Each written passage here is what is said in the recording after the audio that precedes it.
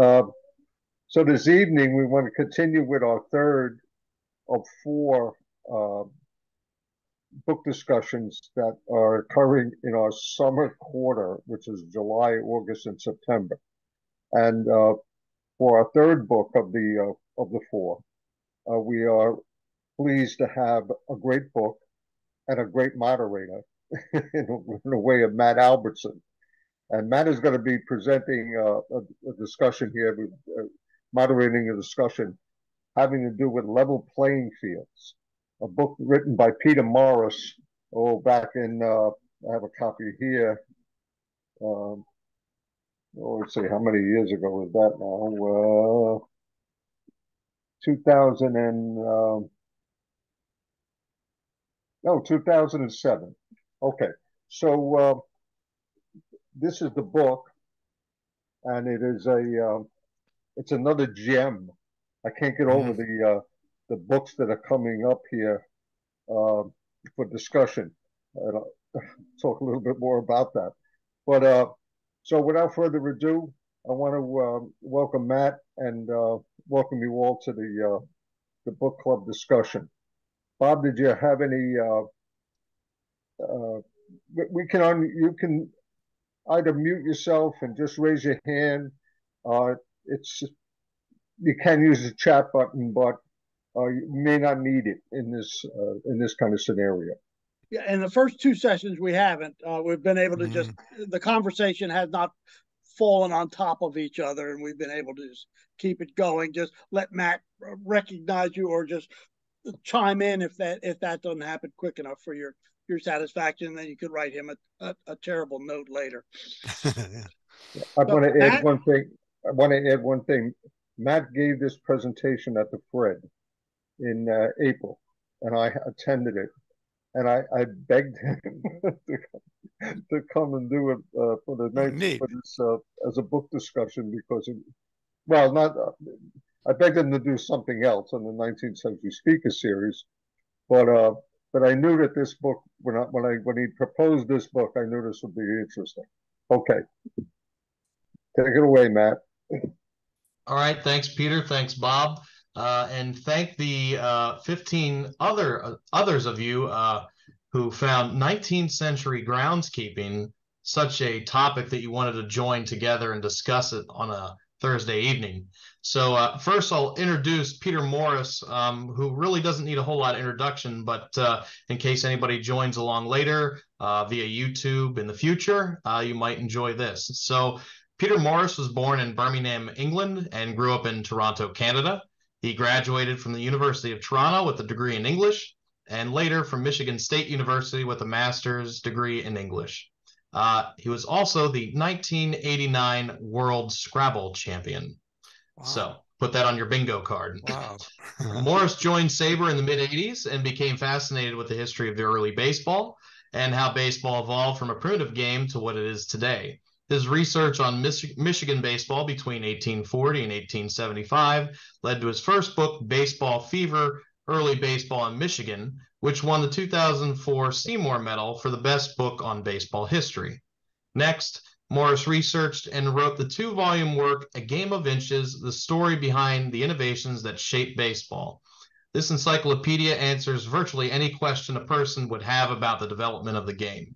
This groundbreaking book was the winner of both the Seymour Medal and the Casey Award in 2006. In 2007, Level Playing Fields How the Groundskeeping Murphy Brothers Shaped Baseball was published. The following year, Morris published But Didn't We Have Fun? An Informal History of Baseball's Pioneer Era between 1843 and 1870. He capped off the decade of the 21st, uh, the first decade of the 21st century with an in-depth look at the catcher's position in his 2009 monograph, Catcher, How the Man Behind the Plate Became an American Folk Hero.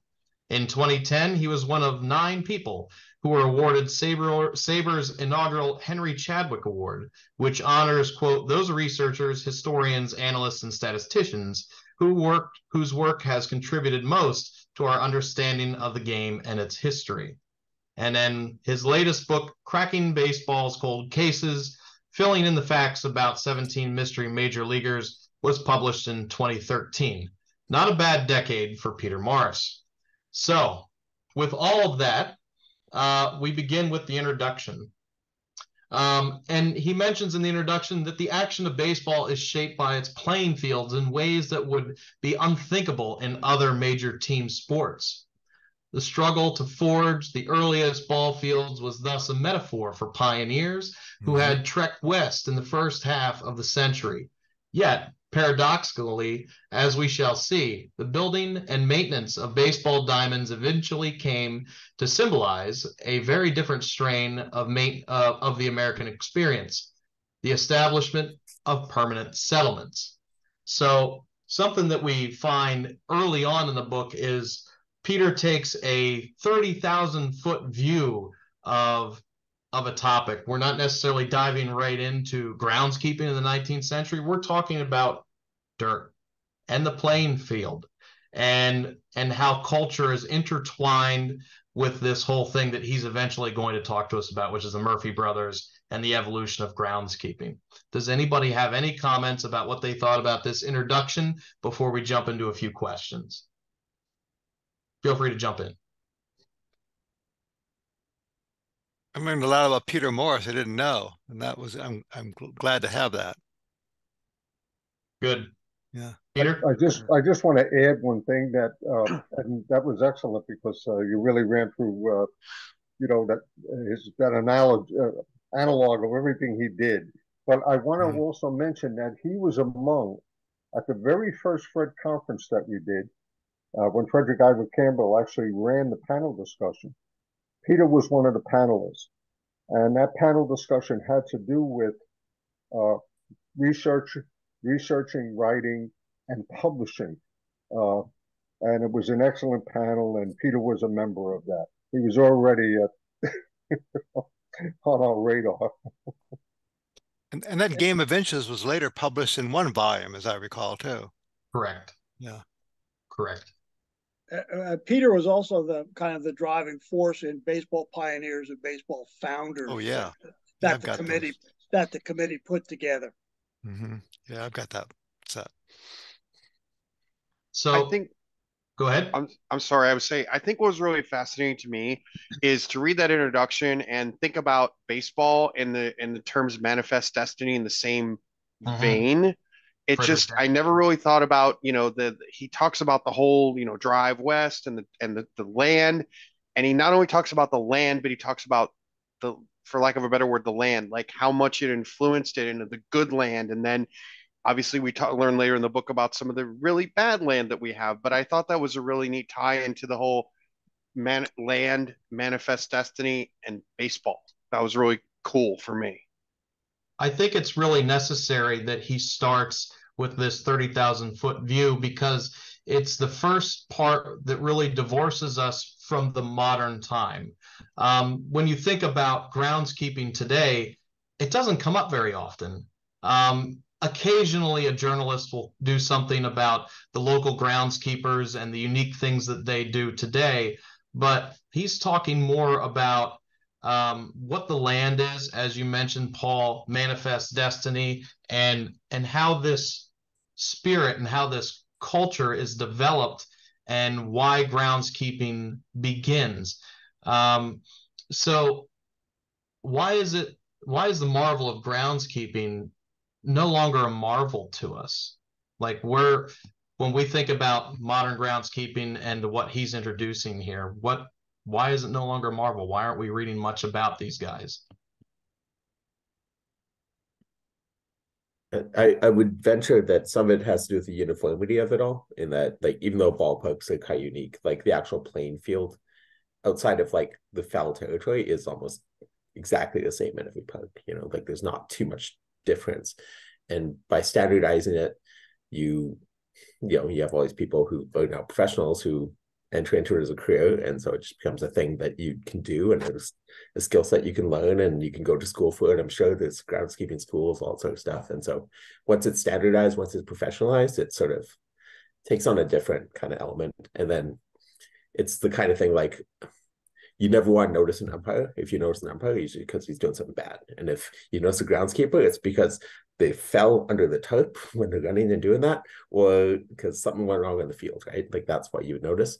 So when the whole point of these like good groundskeeping is that it's unobtrusive and that you actually take it for granted, you know, and like that's kind of the sign of a, a good person who does this, a good team that does this is, you know, it's unobtrusive. And so when you your whole job is to be unobtrusive, then you yourself become unobtrusive, I think, and and sort of in the background. I also I think, think, artificial turf had something to do with that. For a while, yeah. most stadiums were artificial turf, and what's mm-hmm. a groundskeeper going to do on an artificial field except you know vacuum it?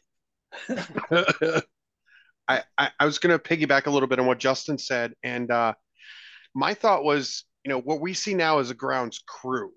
It's a group of individuals that are pretty much nameless, and you know, if the tarp fails, then we have a problem. But other than that, they just do their job. We don't think much of them and there's there's a multitude. And and what's neat about this book is it's the Murphy brothers and it's individuals. So we have the individual versus the crew. We have the one versus the many. And it really stood out to me. And I mean, even in the in the middle part of the book, and I'll be honest, I didn't totally finish the book, but you know, we have the point where they gave they gave the Murphy brother a house. He had a house on the field. It's his field, his house. You know, you had that individual individuality and even individual individuality of the field versus the crew, which is like like Justin was saying, the more standardized, for lack of a better word. Also, I was I was amazed in the in the book well, you know, of course, there's a big issue with drainage, but how the, the Murphy brothers just knew their way around the block when it came to drainage. And they would far, and Murphy would go from park to park, you know, went to Pittsburgh, I guess it was, and other parks. And I know that's even happened at the turn in, in the early 20th century. I read about groundskeepers who would just go to, to competitors and other teams, uh, other uh, uh, parks, and just show them how to do it right. They mastered how to do it with the right soil, and they would go to other parks and help them build their fields too. Maybe that's another reason why we don't talk about it. We don't hear about it much. That they've they've grown to master what it takes in their own specific fields. But I I had a slightly different feel about it when I read it. It was like we know something about the Murphy brothers, and I think maybe one or two other sets of groundkeepers through this book. But before this book was written, seems to me the groundskeepers were as unknown then as they are now. Uh, I, I think he brought to light the fact that these guys made a big difference in the foundations of baseball, um, which at least I, for one, never would have dreamed of uh, when I was thinking about it. I didn't. I, I never put it in the context of these guys made errors because their fields were bad. I mean, yes, there were occasional references to that, um, but uh, this really brought it home that you know a lot of the problems in 19th century baseball stemmed from the inadequacy of the fields, with some exceptions. Mm-hmm. And the whole title of the book, my God, is just a metaphor for the whole game itself, you know. And uh, you know, that that's what just absolutely blew me away when I that when I picked that up. You know, what a perfect title. Right. So can we expand a little bit on what the relationship is between American identity and baseball fields themselves? And and this is talked about in the introduction later in the introduction, um, and it's focused primarily on the middle part of the 19th century. So why are baseball fields placed where they're at? Um, and what issues do those baseball fields have and why is groundkeeping ultimately necessary for those fields? So if we're thinking about the city is the baseball field being planted in the middle of the city? No it's being pushed out. Um, well, well land was cheap. The further out you go the land is cheaper. Cheaper yeah Right. So therefore, the the owners like that idea. They also were looking for something that was on a, a trolley line, so they could have something happen, get fans there. But you also had all of this problem with uh, uneven fields that they had to bring in tons of dirt or they had to uh, take tons out to level it all. And then you had drainage problems. I remember in the 50s, the uh, sports writers talking about Sportsman's Park being in St. Louis being awful uh, mm. in the infield. There's still lots of pebbles, lots of rocks, that's that sort of thing. Uh, we saw it in, uh, in 1960 when Kubek got got hit in the World Series with the the, the bad hop in the throat. That happened two or three times in the World Series in the 20s or so. But they did just didn't seem to care. The owners didn't seem to care. As long as the field could be used, they were happy. Uh, Peter, you mentioned uh, being out because uh, the land was cheap, but uh, also I think this was mentioned in the book. They had the whole thing about public lands too. You couldn't be, build a field on public lands, and I know the Chicago White Stockings had to leave in 1884 because all that their first their field back then was on on hmm. public mm. lands, and they had picked it because a trolley a trolley system was nearby, so they had to go move over to the west side. And I think public lands is mentioned in the book here too. Yeah, but even before you know professional baseball and ownership, they were where would you play? The city was growing up in the city, so a lot of the clubs maybe were originally playing in a plot of land that wasn't taken in the city. They writes about in the book, and they had to move out outside of the city, and that's a lot of because the land was being taken and people were pushing out west more during that time. The appeal of owning your own land and so on uh, was still there, and that was. Mm-hmm becoming more difficult on the East Coast or the Eastern states in the uh, mid 19th century. So you have this this push out west.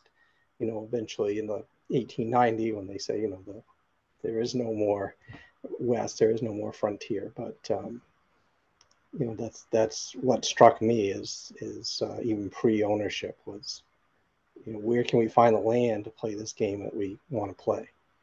I, am trying trying to remember what wasn't most of the land leased. Oh, the club didn't own it. They they owned the grandstand because they would buy the the wood and, and do the construction. But there was an awful lot of times when when they get tossed out because a road came through in New York or something of that nature, and they sold the the planks from the bleachers, and that's how they broke even and went to find another lease. Going off they were, the point, um, the end of the last paragraph, the subject sentence is the urban landscapes expanded relentlessly. The incongruity of expansive green baseball fields in their midst evoked nostalgia for the days when the American frontier seemed limitless and settlers could always dream that greener pastures lay ahead. Mm-hmm. yeah. So we're getting into the spiritual about American identity, about nostalgia, even in the 19th centuries, for the good old days, as they say. Yeah. Mm-hmm. Well, yeah. speak, speaking of the good old days, I guess there's another weird take here. I thought about it from the standpoint of a kid growing up in the in the inner city, and if he wasn't on the little league teams, he had to go find with his friends a you know a parking lot, a, a lot of some kind to play ball in and so we didn't have owners to contend with, but we had the same kind of problem. The players wanted to play. Uh, the, maybe they weren't going to be big league players, but they had to find a spot to play. And a lot of the spots we found to play were pretty miserable. Uh, but we did. And I think that was a lot of the, the current of this book was about those early baseball players. Yeah, the owners didn't get them the fields they wanted, but they wanted to play ball so they played. You hit on the next point that I wanted to go into. So what a great segue. Sorry. problem. Not a problem. It's a great segue. And, and really all I have are questions for us to expand on. So um, we'll go from there. So how did the history and experience of the Irish impact the Murphy Murphy brothers' careers as groundskeepers so what necess- what factors necessitated groundskeeping and dedicated groundskeepers? And what's the what do the Irish have to do with that? What makes them uh, more often than not able to be a groundskeeper? We're talking about dirt under the fingernails. We're talking about blue collar work style. We're talking well, about working with your hands. Well, the Irish, even into the, the 20th century, were primarily a farming culture. Yep. uh, and they Mhm. and they came from that. It was difficult if you're in Boston or New York to to have much farming uh, uh, going on, but they still taught one another and carried that with their experience with them. Yeah, I agree. I mean, they're, you know, obviously here being in Buffalo, they they dug the Erie Canal. They had that dirt under their fingernails. And that was really, he talked about that quite a bit. I also think that honestly, you know, they had that they, they he talked about the Irish need not apply. Irish need not apply. And you know, these are jobs that are, you know, they're they're the the dirt of the earth and they're those are the ones that they're going to gravitate to and those are the ones that they're going to excel at. And I think that they were also they were taking them no matter what was there, they would take it too. So I wonder if it's kind of a chicken before the egg where did the Irish need the groundskeeping? Were they good at it or did they need the Irish, you know, because they nobody else would do it? Interesting paradox. What's everybody think about that?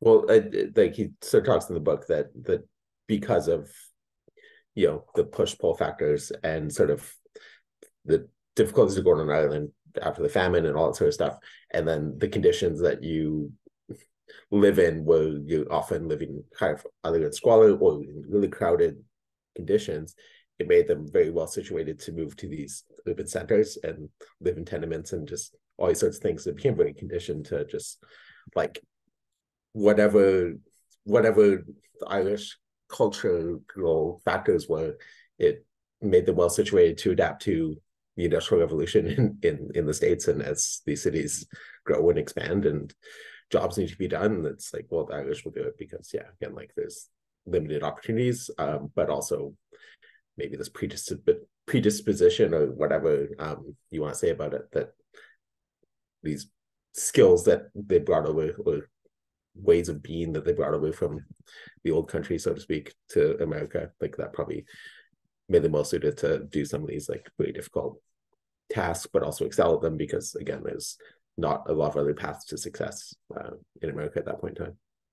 It Could it also, also have something to do with the fact that a lot of the players were Irish and hey, I want to hang out with my buddies, but I can't play ball to save my ass, so maybe I can Oh yeah, that's a dig good in the dirt and still hang out with my buddies. I also thought it was significant that they were outside a lot. I mean, it gave them the ability to be out uh, Mhm. for most of the year doing one thing or another with the land. So I thought that was uh, a factor also. Peter, you're on mute. Peter, you're muted. Jerry Casway's excellent biography of uh, Ed Delahanty is subtitled uh, "Baseball's Emerald Age." You know, Mm. and it truly was when the groundskeepers came along. It was baseball's emerald age, and I think there was a great comfort level, uh, as as Rock just pointed out here, that you know, well, you know, the groundskeepers, among other a lot of Irish players on the field, a lot, and if you look at the managers that are beginning to rise uh, in this era uh, and the early 20th century, they are Irish, a lot of them. So, um, eh, you know, I think there was a, a certain amount of trust, you know, um, give and take between them. and using using Jerry's uh, uh, Ed Delahanty book, um, he talks about why were the Irish so good because they played so hard. They had this disposition that life was hard, and they put that out on the field. Um, in a similar way, because the Irish worked a lot of manual labor jobs in the 19th century, um, groundskeeping became sort of a natural avenue for a job.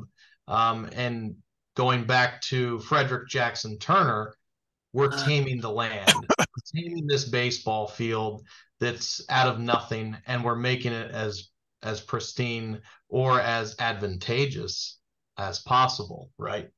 So my next question is how did urban sprawl impact the location of ball fields and what factors negatively impacted play? If anybody's ever played vintage baseball and has played on an awful field, you understand what these guys are talking about in the 1860s and 1870s. Despite what the newspaper accounts might have said, not every ball field was as flat as a billiard table.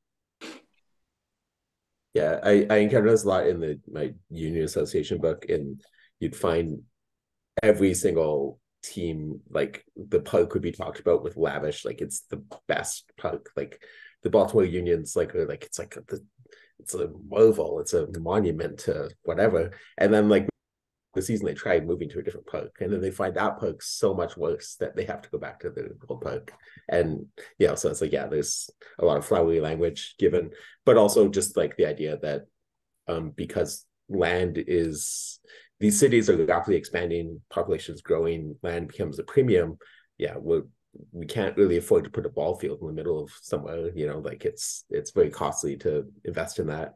And so yeah you often have with ball fields further out. And then because so many of these cities were developed built along rivers and ports and all that sort of stuff you have like pittsburgh where the exposition grounds are just seem like awful like in terms of drainage all that sort of stuff. But it's that's where the land is that you can do. It's accessible to the rest of the city but also you have to just contend with the nature. So it seems like you take land where you can get it, and because cities will by water most of the time, then you know the water also becomes like flooding becomes a real central thing for almost all of these like ball fields. So I think it's just yeah, you you found that you found a park where you could get it, and I think the New York illustration was interesting because I hadn't realized how difficult it was to find actually a spot to play in New York City in Brooklyn, um, and yeah, so the idea that like for 10 years the Yankees and the the Giants are sharing the polo grounds while they're trying to figure out what to do. Like, I thought that was really interesting. I hadn't really considered that that the issue is actually finding viable land to build a stadium on in New York City. And that's that's the whole problem, you know. So yeah. Land is the absolute most important thing, but it's impossible to find in, in these growing urban centers. So yeah. You hit the nail on the head. Um, and as an anecdote regarding Exposition Park in Pittsburgh, um, when was the last time anybody's been to a baseball field next to a river and really had to think about, you know, how many mosquitoes am I going to get bit by today because oh, yeah. of the standing pools of water in center field? Yeah. so um, I think we can, you know, jump ahead a little bit and you know going off of what justin said about some of the factors that that uh, impacted where ball fields were we find out with john murphy tom's brother that um, the issue in new york putting an american league team in new york city was hard right um, and then we have to deal with moving the polo grounds due to new york city politics so one place they have to use dynamite to create a ballpark. Another place they have to yeah. wait for the political machine to die. Yeah. Mm. Mm-hmm. Mm-hmm. Well, one thing about selecting spots, um, about I think it was the Hospital for Infectious Diseases closed in Philadelphia, and that freed up the land for uh, Shibe and Mack to build what ultimately become you know Connie Mack Stadium, and then the neighborhood quickly grew up around it, and you know all that led all that led to. So you know, I guess it was a, at at the early 1900s, it was an undesirable area because of the hospital, and they took advantage of that. And isn't isn't that the same situation in Boston? What Fenway is is a swamp because yeah. they, the the Fens was where the swamp overflowed the the river. Yeah. Also, um, also they still have problems at Fenway Park uh, with uh, downpours that sometimes flood into the dugouts, and they have worked for decades on a system in order to keep the field reasonably dry. I mean, probably underneath it, there's a just a total like network of drainage ditches that are all underneath it. I know that it wasn't too many years ago that they ripped up the entire field and redid it. And when you look at the old maps of 1912, it's a wasteland out there. And now look at it today. It's just, it's all built up around. The buildings are all towering over Fenway Park and kind of dwarfing it in the neighborhood. Uh, and it was the same reason they planted it out there because the land was cheap. It was swampy. Fenway, yes, there's a river not too far away from it, um, you know, the Muddy River, and the Charles over on the other side. So uh, uh that's really kind of the um, a, great example on a lot of the ball fields around that started out like that, especially the ones that have stayed around, uh, the older ones. Um, and Fenway is probably going to stay there for a lot longer. Uh, uh, on the question of, of, drainage, didn't the Murphys start to deal with that a little bit? It started with just putting a crown on the field, but right. didn't they on the edge. put drains in in the 90s? Yeah. And the different types of soil, I think, too, they use. And, yeah. you know, mm-hmm. I vaguely recall reading that. One of the right. stories that they used was um, John Murphy rowing out to center field in the polo grounds and pulling up the caps on the drain so the field would drain. Yeah, right. I mean, I mean think about that as state of the art technology in groundskeeping. Well, well the, the 1951 the, World Series, it was in right right field. Mantle hit one of those drains and and twisted his knee. Ooh, gosh. Yeah, I was thinking of that. Yeah. Yeah. Yeah. And yeah, Willie I, Mays, Willie another, Mays Willie Mays hit the ball. oh yeah. Another thing that they had mentioned in 1912 at Fenway Park, there were a couple of things where they had just a bit of a curve along the third base line where uh, call uh, what you could call a foul ball because it would the ball would just gently roll over into foul territory. But also there was um, the uh, a bit of a uh, scandal uh, that uh, somebody tried to get conjuring up, which had to do with the um, uh, the path between uh, second and third.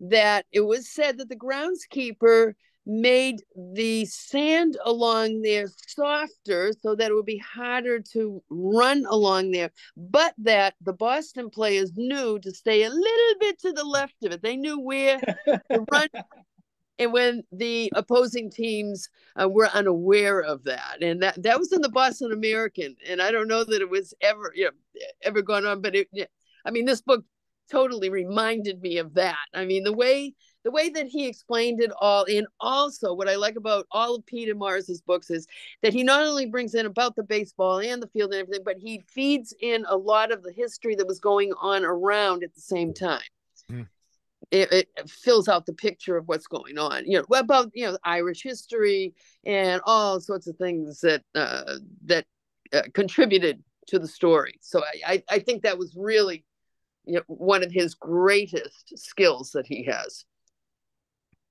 I wanted to mention that there's this guy named uh, Roger Bossard, I think his name is. He's a third generation groundskeeper, and they've all gone from park to park, you know, helping teams uh, with their parks. The first one started in 1936, and the current one they call him the Sod Father, which I think is a neat name. Yeah. So Joanne hit on a couple of cool points um, regarding Fenway Park that can actually go back to Tom Murphy's days as groundskeeper with the Orioles at Union Park, and um, so we find out that Tom Murphy gets a major league gig with the Orioles and uh, he really tailored Union Park and the yeah. field to mm-hmm. the Orioles' talents, yes. and also created a couple of byproducts that the Orioles took advantage of. So we're talking about, you know what? I'll let you all talk about it. What what what are some of these aspects that Tom Murphy implemented in his groundskeeping techniques at Union Park in Baltimore? Well, I'm going to throw was... one out. Go ahead. Jack, I was going to say the oh, thank you. The grass was thicker at one part, so the the way the ball would roll, uh, oh. Uh, uh, uh, and I think one time he said that the the catcher could barely see the top of the right, the head of the right fielder. Was that at that park? Yeah, yeah. I'm sorry. Go ahead, then. Yeah. No, no, no. I was just going to say, and and Joanne knows me a little bit about this, but I am a huge fan of Jimmy Collins because Jimmy Collins is buried here in Western New York. And what's fascinating to not Joanne's nodding her head what's fascinating to me about that is Jimmy was actually so you have the Baltimore chop, you have what he talked about yeah. in the book. And Jimmy was one in theory one of the first third basemen to play in on that grass, in on that at the hot corner. in to combat that. And it's kind of really, I, I just kept reading it and I reread it a couple times because to me it was like getting goosebumps because it was like the Murphy brothers, because of what they did, may have created the Jimmy Collins and that first third baseman in the Hall of Fame. That just blew my Oh, yeah. mind. Uh-huh. So I don't know if you want to run that with that for a moment, Joanne. I I'll give you know he's he's like uh the only you know Boston hero I have. I, Oh, you're not going to get that out of David Ortiz for me, but you'll get it out of Jimmy for me. So oh no, no, abs- absolutely. I mean, I uh, um every time I go to Fenway Park, I go and pay homage to his picture, which is over near where the um, a couple of the concessions are. But I always go over there because he, he was one heck of a good-looking guy. You know what I mean? Yeah. well, last time I went to the hall before I came to the SABR convention, I took my buddy the first time, and I said we're going to meet a Hall of Famer before we go to the hall. And I took him to Jimmy's grave. So Yeah, um, oh, yeah. Yeah, I, I I'm a huge Collins guy. So anyway, I just Well, thought I would throw that out real quick. Do you What's know the song? The song that the uh, Of Dropkick. course, of course, I know the song. I have a Dropkick Murphy sticker on the back of my car. Of course, I know the. Of course, I know the song. There's about this much I like about Boston. Okay, but you'll take that. I'll take that. I'm Yeah. sorry. Let me hand it back over to you, Matt or Joanne. I'm so sorry about that little segue. So I know Mhm. that. Matt, uh, uh, Matt, I had heard, uh, didn't Murphy's kind of talk, depending on the t- visiting team that was coming in, they would tailor the the the foul lines on the infield so it would either roll the bunt would go foul or fair. If Right. The Orioles Yeah. were better bunters. Well, even later on, too, real quick, um, there was a quote in there from um, um, Christy Mathewson about how they changed the mound too, which was really fascinating to me. How he would raise it or lower it depending if Christy Mathewson played. So Yeah, they started to fine tune, really Right. fine tune it at times, you know. I just, uh, Change the, change I, I wanted to bring up just some, something that Matt talked about a moment ago, uh, about, you know, thinking about fields you played on as a kid and, and the problems of, you know, those fields when, uh, you know, every, there was stones or whatever was on the field, no grass at all. And, uh, it got me thinking about, uh, a 19th century great shortstop, Jack Glasscock. And Jack, uh, I think is one of our overlooked legends from a few years ago, and he was one of the best defensive shortstops in the uh, in the 19th century. But what was his nickname? Heavily Jack. Jack. Yeah. Heavily Jack, Yeah. because he spent his entire time when it wasn't fielding picking up pebbles and throwing them Oh, yeah. Yeah.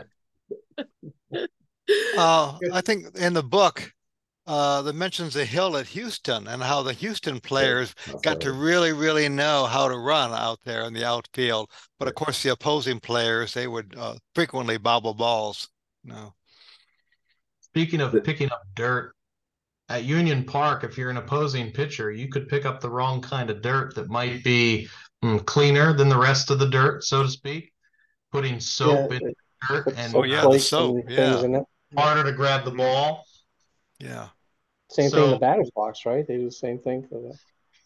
Does anybody recall, and I'm going to look through it now, um, was anybody shocked at the Orioles' home winning percentage as Yeah, compared Pretty to, crazy, yeah. You know, they were good regardless, but their home winning percentage was hilariously high. Yeah. It was what, in the 600s or 700s?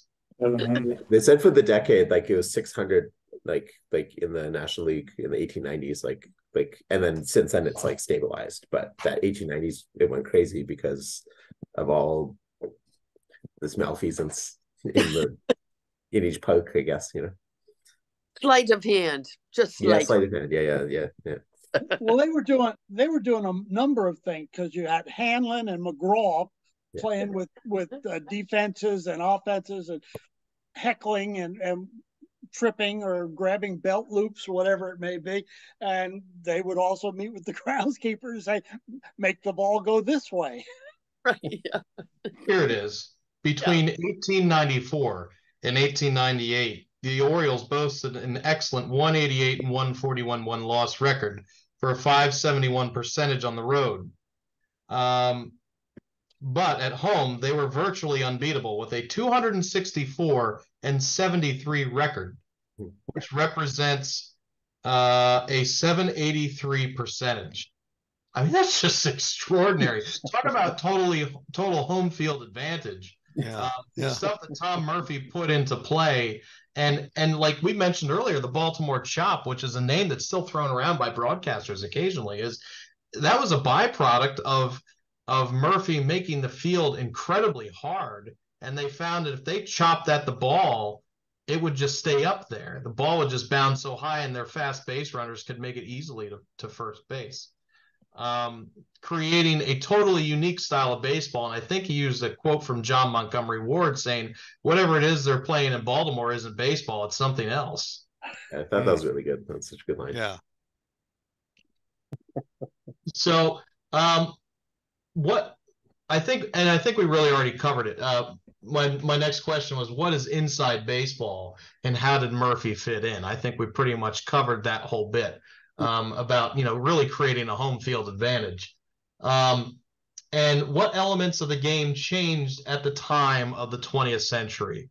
Um, and I'll give you the three broad topics: level playing fields, umpiring, and ownership. So we talk about a couple different things. Is anybody able to jump in there? Well, increasing the number of umpires from one to two was a big deal, obviously. Uh, got somebody to be able to look at what the players were doing on the field. And the National League had flirted with that for several years before finally implementing it. I think in the 1899 or 1900 season. I, th- I think Peter Morris talks about it, uh, eliminating dual ownership too, which enabled the fans to see the game as as being fair. I remember reading that too. Right. Yeah.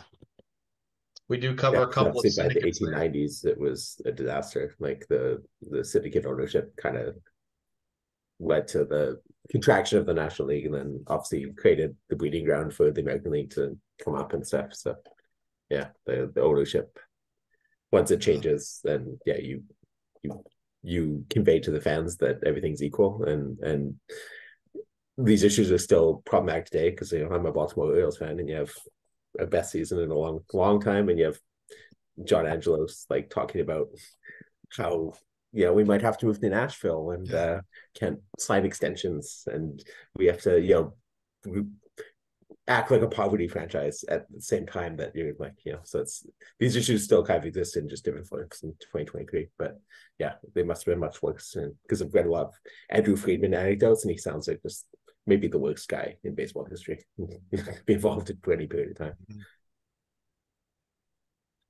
Right. And if I can pop this open really quick, um, we talked about popularity of the Orioles. The Orioles were certainly popular at home um, for several years, but not exactly for the entire decade. Um, people got tired of it. Like we find the big league era, or at least some of us might find it, uh, incredibly fascinating because of all these things that come up that make it quirky. Um, and but at the time, people didn't particularly care for the antics. Um, but for example, uh, Baltimore, it doesn't look like Baltimore never led the National League in attendance during the decade of the 1890s, despite being an outstanding club in the middle part of the decade. They went in 94, 95, and 96, but um, they were never tops in the league in attendance, and it eventually dwindles off despite being, you know, a really good team. And part of that is because of syndicate baseball, which Jack mentioned. Well, uh, Okay, uh, can I ask a question here? Are you ahead. talking about the dual ownership, like with the the Robisons with the St. Louis and Cleveland? And Yeah. that's why they took the best players from Cleveland and moved them to St. Louis. Were there any other examples of that uh, beside uh, that Cleveland situation, uh, St. Louis situation in the uh, in eighteen in, the- in the eighteen nineties? late in the 1890s, uh, Baltimore and Brooklyn had a a com- co-ownership or Oh, I, I didn't know that. that sort of thing, and and Hanlon moved a whole bunch of those. That's how Bresnahan, I think, and and uh, uh, uh, several other above average players ended up in New York Uh, uh, and and Baltimore started to decline, and that's why Baltimore is one of the four teams that was dropped from the National League in 19. Oh, okay. I was in. That was one of my questions. Okay. So So McGraw- Louisville, Cleveland, and Washington. I didn't know why Baltimore, but now you just answered it. Right, Oh, and right. Pitt, Pittsburgh, Louisville was also syndicate Yeah. ownership as well. Like, uh, kind of, I think is a little bit different, but like Dreyfuss bought into Pittsburgh and then moved Honus Uh, Wagner. well, it was all part of one transaction, uh, Mhm. uh, Justin. Oh, okay. It was all okay. Good. when when uh, Dreyfuss buys uh, uh, uh, Pittsburgh or buys his, his share, a minority share, Mhm. forty nine percent or something like Mm. that. But uh, uh, he had a he had paid Louisville five thousand dollars for the right to name where, assuming the the team went out of business, where the players went. Oh, And- okay. And if he did, and there was an option five thousand to do that, and if he actually did it, he would pay them another twenty five thousand. And Louisville needed the money to pay off their debts. Yeah. Okay. Okay. Well, how, how much? How much did Pittsburgh have to pay Louisville to get Honus Wagner? Well, he was part of the trade. Uh, it's ostensibly a trade, but it was certainly Dreyfuss controlled the Hmm. future of all those players. Uh, Right. But it turns out they took they took too many from Louisville because Louisville still was looking for the uh, National League to pay them to get out of the league, and they had no players. So Jack Combs gets traded to, to Louisville and a couple of other players. So they have signed a couple of minor leaguers and they had nine players and they are, they got ten, twelve thousand dollars, I think, because the Mm. ballpark had already burned down. Something to add in is uh, Morris explains that one of the reasons McGraw didn't move to Brooklyn in this syndicate thing was because he had a successful business in Baltimore and didn't want to leave. Um, Yeah, and Spalding had a hassle with, was it Freedman and poor owners? Uh, they want to take over the whole National League, right. establish Yeah. a trust of some sort. Yeah, there was Basically a a huge, uh, Not there was, league. there was actually a split, uh, in eighteen ninety-nine, they were down to eight, they, they contracted back to eight teams. Uh, Hmm. from what was the, uh, original Big Twelve, right, the, uh, eighteen ninety-two to eighteen ninety-eight. Uh, with the American Association four teams and the National League's eight teams combining. hmm When they went back down to eight league teams, you ended up with four owners who wanted syndicated baseball Oh, yeah. where they Mhm. where they where they had interest in you know more than one team, and you had four owners who objected to it, and it of course Spalding uh, crowns himself the uh, savior of, of baseball by uh, uh, his manipulation and you know holding a vote at old dark thirty or something Yeah. the, uh, Mhm. to get the uh, you know system that we had through the twentieth century. Well, it's a good thing Ban Johnson came along and organized the American League.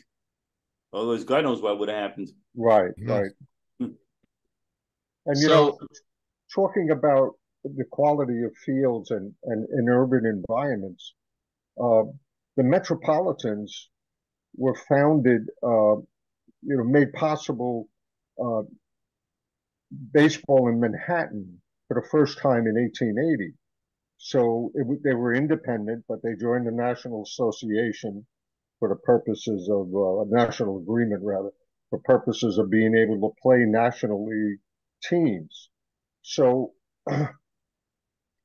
when finally uh, Day and Mutrie, or Day owned, uh, by 1883, he owned the Giants and he owned the American Association Metropolitans. Uh, by 1884, they insisted that they could no longer share uh, the field at 110th Street. Hmm. And the Metropolitans had to go far east, uh, right against the East River, up around uh, about 104th, 105th Street. And it was terrible. It had been a former city dump, and there was no amount of uh, restoration they could do to it to make it playable. And uh, eventually, of course, uh, they sold the uh, the whole enterprise to uh, Erastus Wiman on Staten Island, Mm. who had one of the best looking fields because you could see the Statue of Liberty in the New York skyline. Right, right by the ferry. But it flooded terribly. So uh, they had their problems there. So I think, go ahead. sorry, I, I think another factor related to ownership was the owners at this time were very wealthy businessmen were looking to make a profit. And I think they realized the importance of having somebody keep their grounds in shape because if games are canceled, they're going to lose some money. Um, I think that was a factor there. All these guys chasing after uh, the Murphys and, and, upping the ante to get them to work for them. I think that was a financial financial factor too. There's a, that's a great point, Terry, and and that leads us to a, a pretty cool discussion point, which is the evolution of the groundskeeper. So we find, you know, in the 19th century, particularly with Tom Murphy um, and John Murphy, that you know they they bounce around quite a bit, mm-hmm. you know, year to year, at least yeah. where Peter Morris can find them in the newspapers. Um, and it isn't until really uh, the latter half of the, the 19th century and into the 20th where groundskeepers are held on for more than a year or two. Mm-hmm. Um, and these owners are finding that, you know what, what you said, Terry, it's we're losing money if the field isn't playable. Um, particularly with with big money dates like Memorial Day, the Fourth of July, Labor Day weekend, when you can get a double header in. Um, so we find that you know we've got the amateur, so to speak, groundskeeper uh, to the professional groundskeeper who's there for a purpose, who gets a team. Um, you know, an anecdote was, you know, these guys early on in, in the 19th century have a lot of things to take care of, right? They they aren't just taking care of the ground that the players are playing on. They're responsible for the stadiums. They're living at the stadiums. George Heubel, the groundskeeper for the Phillies in 1894, is called to task because the stadium burned down. And mm-hmm. And he was a former teammate in 1871 of Al Reach's, who owned the Phillies, and he gets fired because of it. So, you know what? Um, we're talking about a lot of money here. Friendships be damned, right? So, jumping into the 20th century um, to professional groundskeeping, um, what what factors lead to professional groundskeeping aside from the economic factor? Is there anything there? Hmm. Talking about innovations, perhaps owners are finding that innovations are are part of this. What about the pitcher's mound? Well, well, I know they they played with the sod. They played with the sod quite a bit, different types of grass or different mixtures of grasses, because a lot of times in, in the off season they would rent the park out for football games or, or something mm-hmm. of that nature. Uh, they also needed to have hardy enough grass that they could rent it out when they were on the road to a minor league or a, a Negro league or college team or something of that nature. Wasn't there something? Peter made a point. Peter made a point about them actually becoming like landscape artists as opposed to just yeah. groundskeepers, mm-hmm. and that people mm-hmm. in the stands really liked the flowers and the designs and things like that. And I guess that was perceived to be part of the attraction and why you would want somebody better than the average. So let's dive into that just briefly. I know we're running out of time here, but we're talking about uh, 19th century ballparks being made of wood. Um, they're not permanent, right? They're transient, is something that Morris talks about. Um, and now we've come into an era of permanence. So landscape landscapers. I mean, Murphy's uh, creating ornate uh, designs yes. uh-huh. in the uh-huh. field at the polo grounds. He's using flower beds that sometimes the players screw around with and plant, you know, uh, fruits and vegetables in uh, to his behest, right? Um, but these are becoming permanent things. And after the 1890s, where people started to say, I'm not so sure about baseball, now they want to come back and see what the ballpark has to offer. Mm-hmm. It also yeah. mentioned it became more of a year-round job. I think it was McGraw that sent John Murphy, right, worked for McGraw down yeah, yeah. ahead to prepare the spring training site. So instead of being mm-hmm. just a seasonal job, he would hire, I want to say, a month ahead of time, so mid-February, early March, and send him down to um, uh, Texas, right, um, or wherever they were going to have spring training to get the field ready um, prior to the uh, arrival of, of, the Giants. Um, so it went from being, I mean, in the 19th century, I talked about just groundskeepers. Sometimes just during the homestand was the only time they get paid. Um, and then the, the, Murphy brothers were more um, getting paid more, you know, right. when the team was away as well. And then John Murphy was being paid more year round and more valued for their work and what they could contribute to the team. Right, and and we talk about those ballparks to the south. Of course, the uh, the climate's a bit different. They talked about Morris talks about spin ball fields where you couldn't get grass to grow until you bring in a guy like John Murphy, who is an expert in groundskeeping and has been around the block numerous times, has seen it all. Uh, yeah. Right, with issues at the ballpark, and now he's growing sod and a terrific ballpark down there in Marlin Springs, Texas, where grass would not grow. That's right. So I guess the question is twofold, right? What's the difference between the groundskeeping um, uh, tactics between Tom in the 1890s with Baltimore and John with the New York Giants and somewhat with the Yankees in the early part of the 20th century? How does groundskeeping change between the 19th century and the 20th century? This goes back to level playing fields. Right. John John tried to bring on the level playing field. The idea that you would go from one field to another and there wouldn't be that many substantial differences favoring the home team. Tom had been the home team, you know, uh, advantage guy. But a his total brother homer, was my kind of guy. Yeah. mm-hmm. Mm-hmm. So and and going back to the spring training point that Ian brought up, um, how did how did Murphy change the practice overall of groundskeeping, soup to nuts year round? When we go from spring training, where he starts in December, working on the fields, to working on stuff for football season, dealing with uh, goalposts being yanked up, out of the field, um, having to set the fields out properly, and having to deal with constant usage of the grounds throughout the summer and throughout the year, as opposed to just during the homestand. Uh, I want to ask, That's great. I seem to remember reading an awful lot of times where uh, there were, if there's a lot of rain in the spring, teams would be laying sod to resod the whole field uh, to get ready for the season, and it wouldn't take root because it was just underwater so much. Is that just an impression I have, or did was that were they remaking the ballpark's surface to make sure that it did have this quality about it? That's a great question. Mm-hmm. Mm. That's that's mm-hmm. a good question. I don't recall if that's in the book.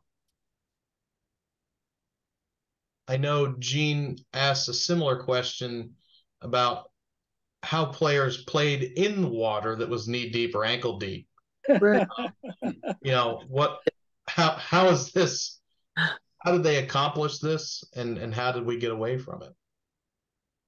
Well, I think it's an umpire question to some extent. Once the game starts, the umpire's in control. If he says keep playing, you got to keep playing mm-hmm. unless you're Charlie Comiskey and you pull your team off the field.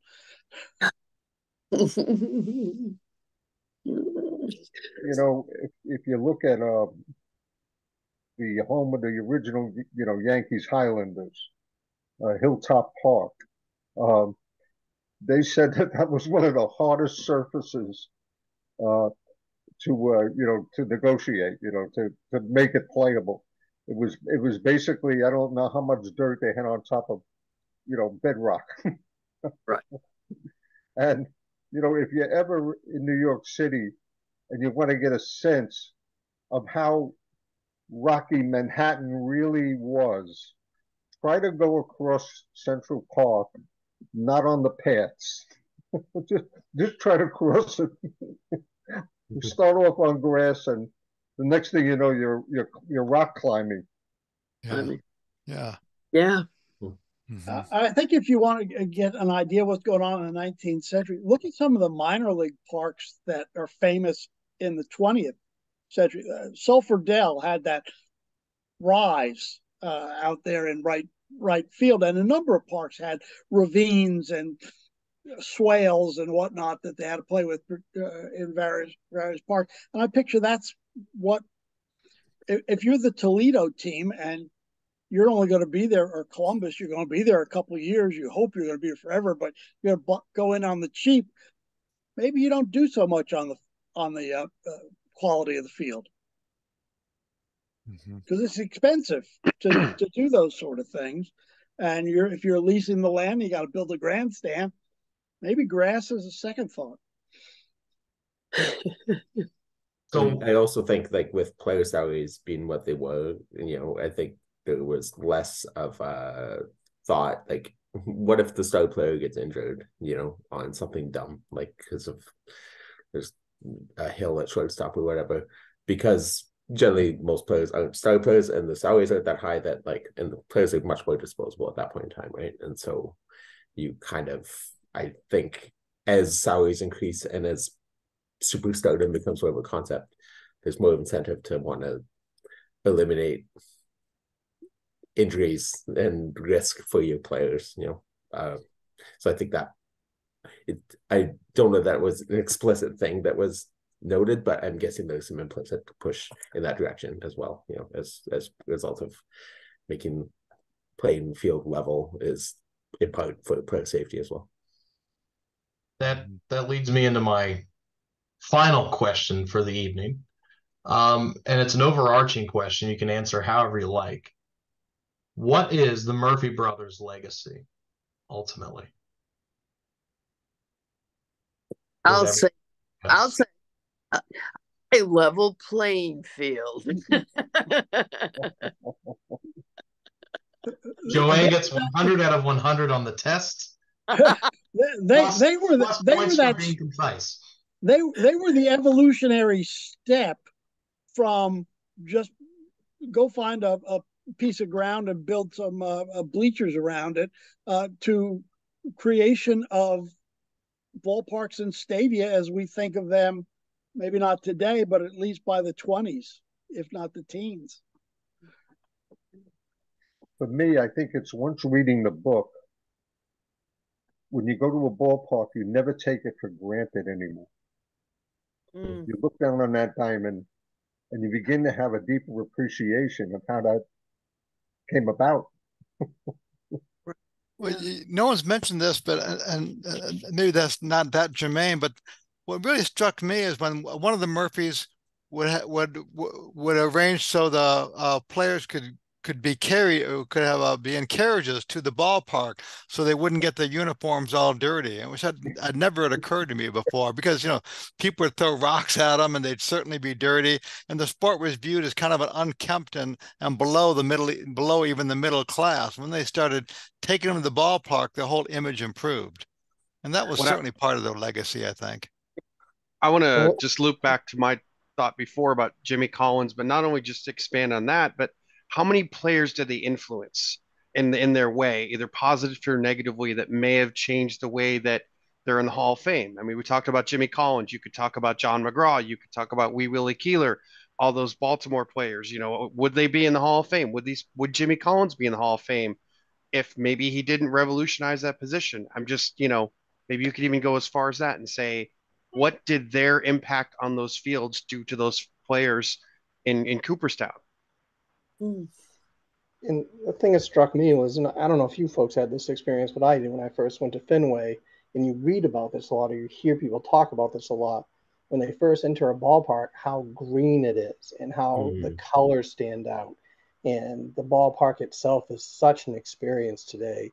Um, and you know, green cathedrals. Back to the Murphys. That's yeah. When you're a little kid and you go there, you know that's part of falling in love with the game because you just it's just so aspiring and you know awe-inspiring and and overwhelming that you know like how could something be this green and this beautiful so and, and think- to that point it's almost when uh you know the phillies have a lot of concerts now at citizens bank park when they're away and you could tell where the stage was, and it's almost surprising to walk in there and see the indentations of of the stage or whatever still there because you're so used to be the field being absolutely perfect.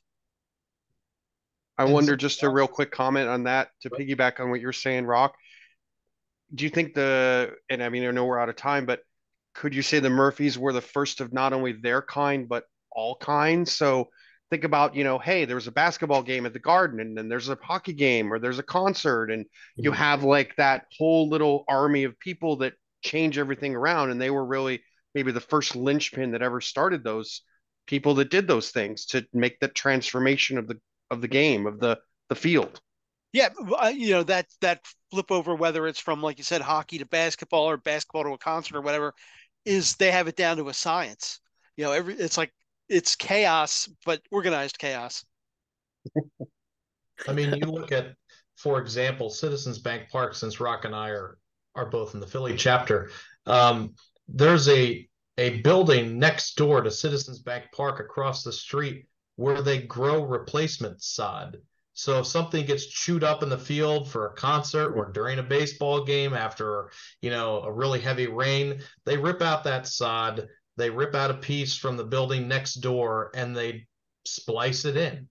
Um, something else, you know, we talk about is I think some major league fields have um, different species of grass on the infield as opposed to the outfield, and different lengths of the grass depending on what kind of players are playing the infield for the home team and and in the outfield and and so forth and so on and and of course how you manicure the pitcher's mound today too. So there still is that form of Tom Murphy gamesmanship, right? While there is the John Murphy level playing field with the ornate bunting and everything that looks just terrific and beautiful from an aesthetic point of view. Anybody with any concluding comments or anything to to to follow that? Um, I do. I, I have one thing I want to say that um, uh, finish reading level playing fields if you have not.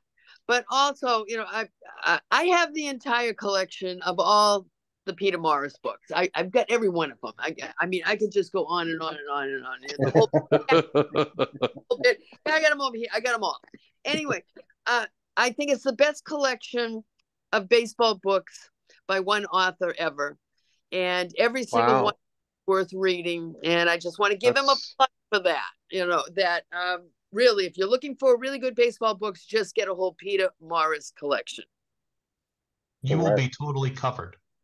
I And my favorite one, cracking baseball's cold cases. A bit of mystery, a bit of history, and a bit of irony. Oh my god, the whole bit. You know, yeah, It's- it's- I, I feel very fortunate to be able to say I I've never met him in person, but we've interacted online, and he's super nice and super helpful and hugely Yeah. influential. When I was thinking about writing my book, I'm like, I asked Yes. him, "How do you write a book?" And he told me, and he's you know, wonderful. so he's he's he's incredible. He's just That's yeah, one of the- awesome. one of the best around. So. Well, well, Matt, thank you very much for the, uh, for the evening. Thank you, Matt. It's great. Good time. Matt. Uh, Thank you, Matt. Everybody had a chance to, to get their two cents or with inflation, eight cents in and we're ready to go. Uh, let me just, uh, before Peter closes off, uh, September 14th, Thursday, September 14th is the next session with, uh, uh, Dr. Kevin, uh, Kreiner, uh, who will be doing, uh, uh, a, a sporting time Hmm. uh, New York City and the rise of modern athletics, 1820 to 1870. Uh, a bit of an academic approach to it, but it's very it opens a lot of historical questions and and uh, uh, ideas going as the evolution of, uh, of baseball is going on from its town ball to baseball to amateurs to pros to, to leagues. So it's a very, very interesting sort of uh, uh, thing to go through. Uh, written by Melvin uh, Adelman. Uh, uh, Peter, if you'd like to give us a close, please. Yes. Okay. So we all set, Bob? Oh, Yes, we're good. Okay, as Bob mentioned, it's September fourteenth, we do have uh, a sporting time uh, with Kevin Carina, and he is going to be uh, discussing that book.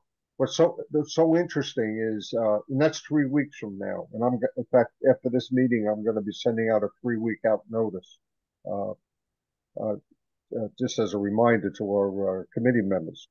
I want to say that uh, Matt, you did a wonderful job with this. This is really a, uh, Mhm. Yeah. a very well led discussion and uh, really uh, the comments of your comments, but the comments of everybody are, are really uh, you know bring it to life. Uh, I want to say that we're looking forward to the fall uh, quarter, and we already have uh, Jack Bales uh, uh, on the calendar for uh, November and uh, November the eighth, I think it is. That's And, correct. Hey, Yes. It'd be another baseball classic, the Beer and Whiskey League. Oh, I read that one. That was good. Yeah, I like it too. yeah. That's a good Don't one. we start right? the monthly uh, the monthly uh, lectures soon? Uh, next month. Uh, yeah, yes, the uh, uh, second Tuesday in September, that is the twelfth. The twelfth of Yeah. September, Bill Humber will be opening the uh, Yeah. talking about know- some of the uh, form- uh, formative activities in Canada that uh, might not get quite the uh, uh, uh, press and recognition as they contributed to the evolution of baseball in America. Yes, yeah, an interesting uh, 19th century speaker series. Yes. So Yeah. anyway, I want to thank you all for joining us tonight, and uh, Matt for leading this uh, discussion. It was a real. You picked a real good book too. Yeah. Yeah. Yeah. Very good.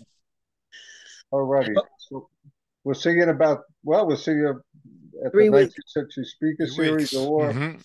uh, beyond at the uh, on the 14th. Okay. Okay. Thanks, everybody. all. See you, Thank you. everybody. Have a good night, y'all. Yep. Bye. Okay.